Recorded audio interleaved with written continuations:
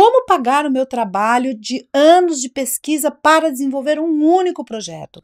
Fica comigo que o papo é sério.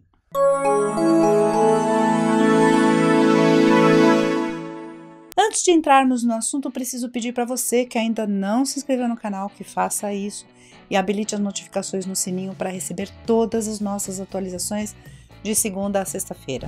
Você dedicou a sua vida inteira a um único projeto que envolve uma quantidade de horas de pesquisa. Para realizar o projeto, você precisou pesquisar e isso foi um trabalho de anos, muitas vezes décadas como mensurar e colocar um valor para todo esse trabalho numa planilha de custos de um projeto social ou cultural. É muito bom você já saber que não vai conseguir se reembolsar de toda a sua dedicação de anos.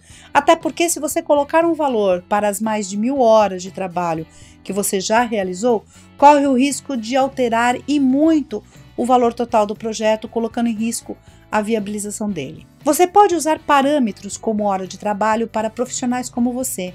Claro que tem que considerar valores de mercado. Num primeiro momento, dimensione de forma mais real possível todas as horas que você trabalhou em prol do seu projeto. Tente saber exatamente quantas foram as horas gastas com ele. Depois, é só multiplicar o total de horas pelo valor de mercado para horas de pesquisa. Como falei, é possível que chegue a um valor que vai inviabilizar financeiramente o projeto. Aí vai ter que usar mesmo o bom senso e adequar esse montante a um valor que fique adequado e similar a todos os outros bons profissionais que você vai incluir no projeto.